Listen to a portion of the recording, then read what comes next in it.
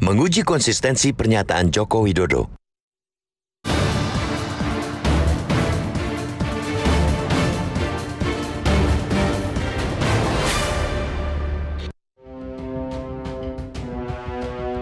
Dia yang melempar api, dia pula yang mencoba tampil bak pahlawan untuk memadamkannya.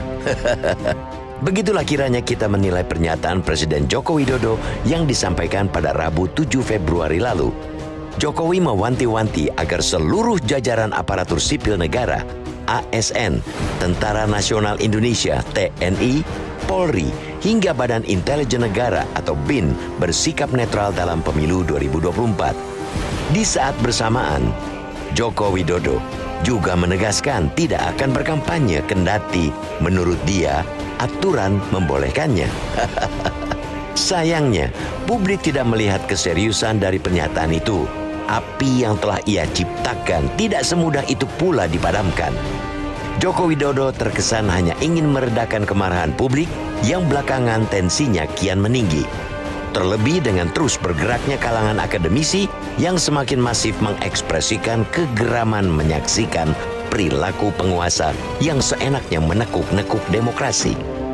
Dikatakan tidak serius karena apa yang diucapkan dan praktiknya bertolak belakang. Hah. Joko Widodo bilang tidak akan berkampanye, padahal selama ini melalui berbagai program pemberian bantuan dan kunjungan kerja ke daerah-daerah, sesungguhnya dia telah berkampanye secara terselubung demi kepentingan kandidat tertentu.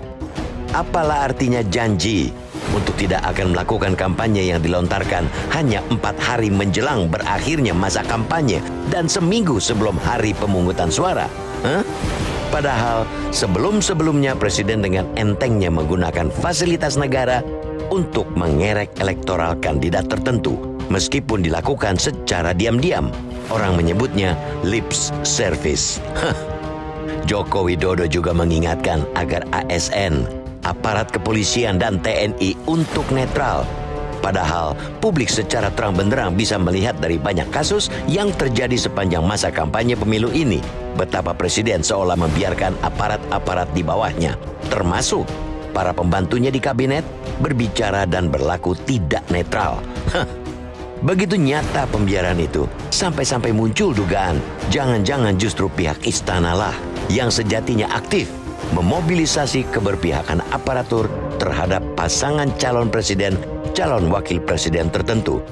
Sebuah dugaan yang rasanya tidak berlebihan jika melihat rekam peristiwa lima bulan terakhir sejak keluarnya putusan Mahkamah Konstitusi yang memuluskan jalan bagi anak Joko Widodo menjadi cawapres.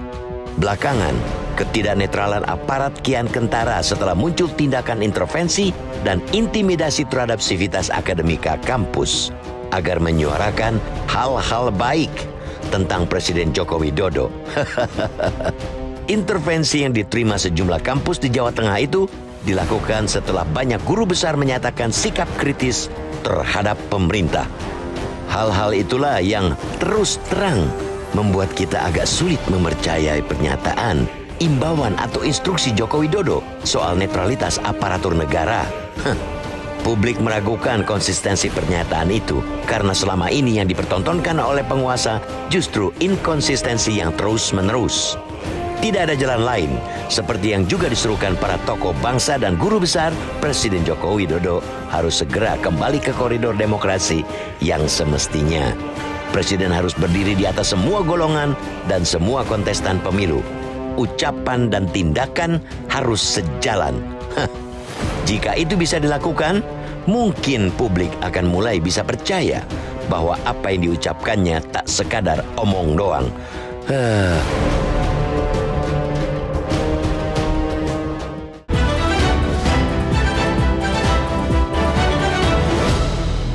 Jelajahi cara baru mendapatkan informasi. Download Metro TV Extend sekarang.